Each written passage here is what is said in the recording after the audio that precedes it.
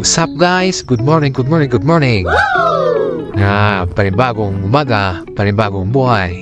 So, yun guys, kasama ko yan yung araw-araw na ginagawa ko dito sa trabaho. So, tara, let's G! So yun nga guys, naload na lang kasama ko yung ilalagay namin sa layout na naka-cage ay nakapad na oyster. So ayan guys, samahan nyo kami habang magandang panahon. Yun pala yung company namin guys. Tahimik ang karagatan ngayon kaya magandang pumalaot ngayon.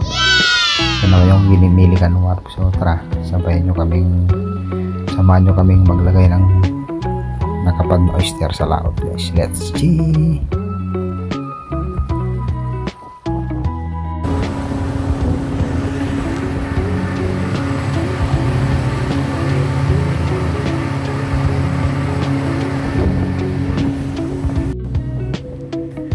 Yan na nga guys, medyo malapit na kami sa paglalagyan ng mga nakapad na ito. So tara, napakita ko sa inyo yung mga palutang ng mga oyster ulit guys. Season ulit ngayon ng oyster kaya medyo madami ulit ang ano, mga nilalagay na nakapad dito guys. Ito pala yung mga ano culture na oyster. Ito yung mga inaalagaan talaga dito sa PEI na oyster. At yan na nga guys, piniprepare ko na yung ibabagsak namin sa tubig na pad yung hinahawakan ko. Yung guys, yan yung iba, ibabagsak namin sa tubig. Bali, meron kasing ano, sinasabit dyan. Pero machine ang ano, bali, bali machine ang nag-operate dyan guys. Yan, oh. Kita nyo naman yung ano, gumagalaw na yun. Yun yung machine na magbabagsak sa tubig. Yan yun, isasabit yung parang kadena dyan, kadena guys sa may tali yan yung ginagawa ko. Piniprepare ko na guys para diretso bagsak na yan. So tara. Panoorin nyo kami guys. Palike share and subscribe na lang my channel guys. Pitay Cam Vlog thank you.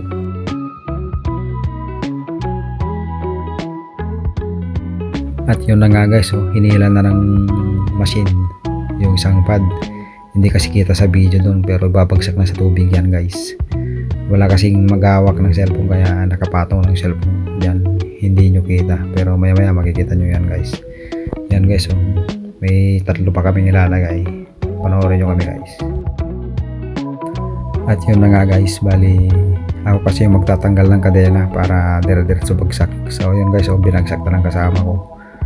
Ako naman nagtang nagtanggal ng kadena para diretso sa ilalim ng tubig. Yun yun, yun yung inihila ko guys.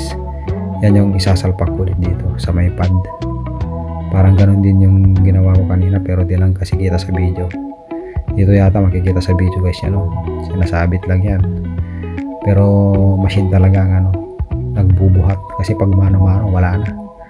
Yarin ang magbubuhat ng mano-mano dyan guys. So tignan nyo naman ako para akong professional ko no? Pero hindi. Natuto lang din. Yan guys so tignan nyo medyo mabigat yan. Siguro nasa 500 kilos yan. Ayan.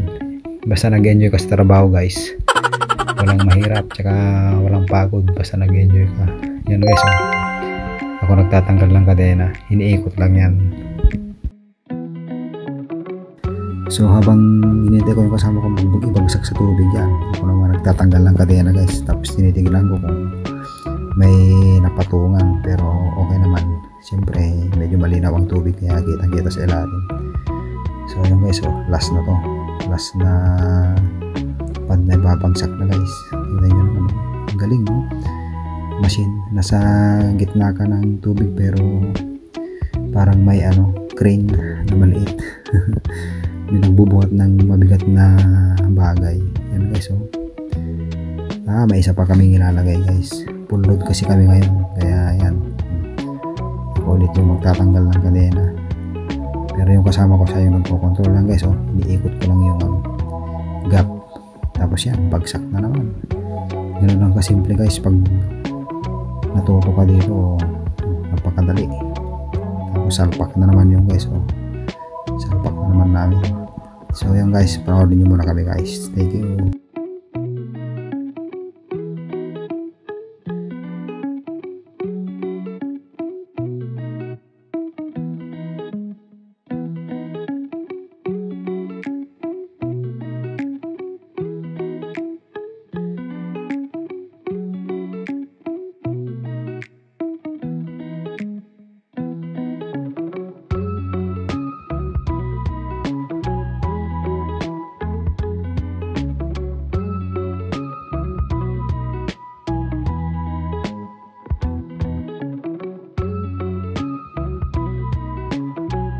At yung guys, syempre last na ihulog na yan guys. So yan. Tatanggalin ko na naman yung kadena guys. Diba? Feeling professional. Parang may hinihila pero hinahawakan lang pala. Doon sa dulo. Yun guys, oh, yung mga ang dami ng ano, oyster guys. Oh, yung mga nakalutang oyster lot yan. Oyster lot. Laman yan guys. Nasa ilalim ng tubig. Ang ganda ka ng panahon guys. Oh. Grabe. Panalong panalong panahon. Mari professional pero hindi. Natuto lang naman guys. Natuto. So tara.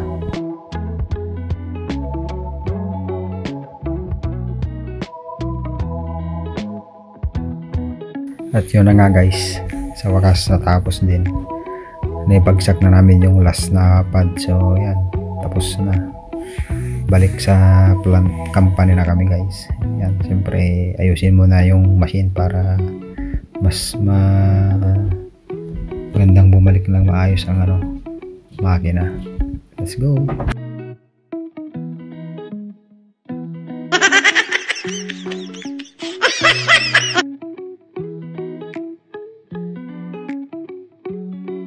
At yun na nga guys. Tapos na kaming maglagay sa tubig. So yan uwi na kami.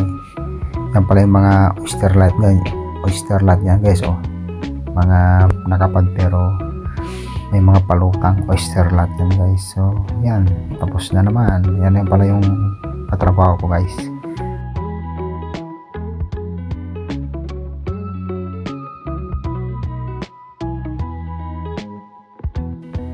At yan na nga guys oh. May isang load pa kaming ano ilalagay dun sa la kinakarga ng natrabaho ko guys yan o kompletos recados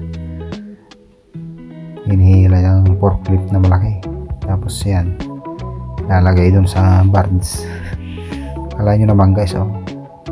Nasa tubig ka ganyan ang kabigat ng dala mo. Pero tingnan mo lumulutang pa rin di ba? Kaya malupit. Yan guys oh.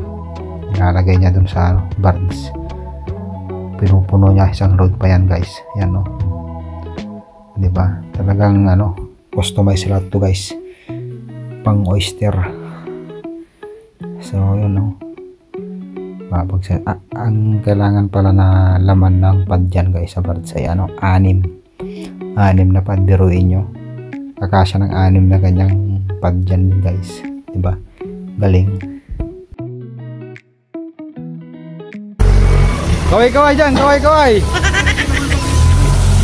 Nilinis daw guys. Kaway kaway,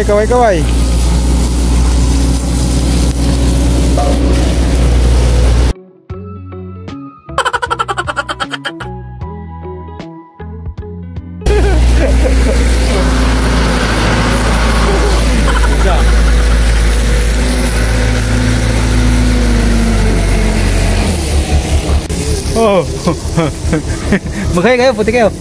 Teka. Video tayo namin.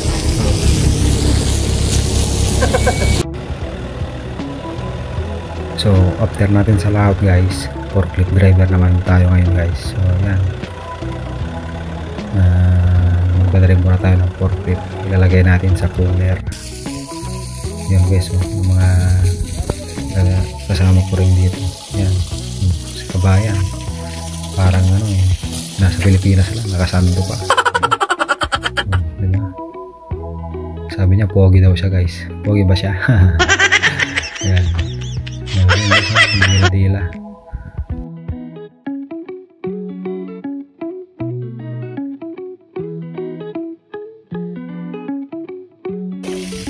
Canada Life. Bilis. Bilisan mo kasi.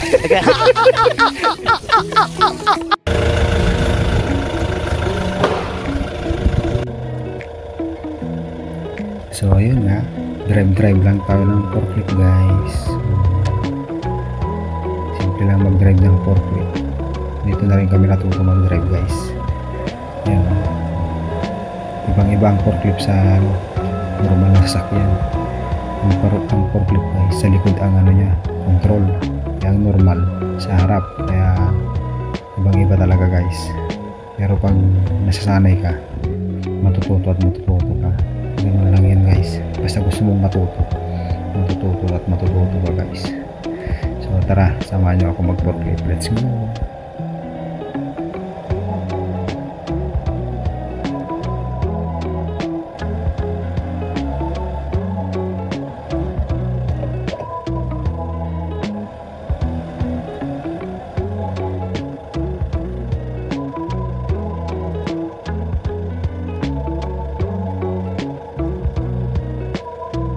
So yun guys oh, yun pala yung controller ng ano, cooler. Papasok kasi ako sa cooler kaya yung may remote. May remote siya guys. Yan oh, tingnan, papakita ko sa inyo guys. Papasok ako sa cooler. Ayun oh, nagbukas na. Yan yung mga imbakan namin ng mga ano, finished product.